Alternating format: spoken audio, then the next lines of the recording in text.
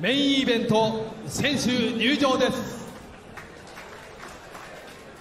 青コーナーより高橋良樹選手の入場です。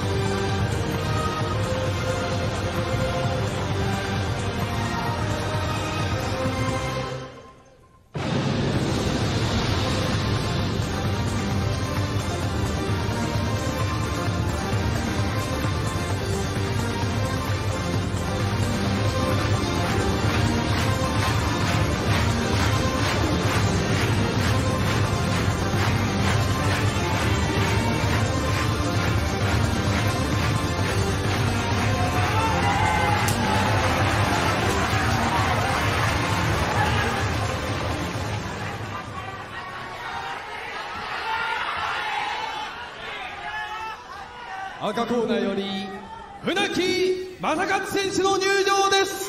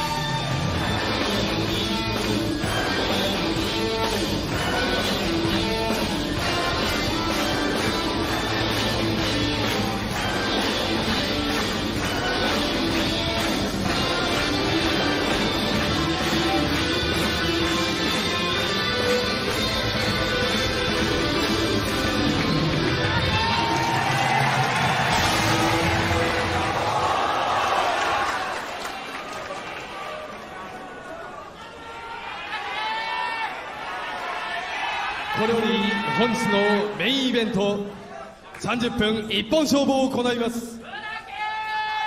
青コーナー196パウンド。高橋良樹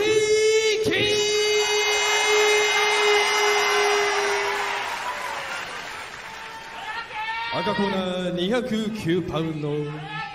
船木正勝。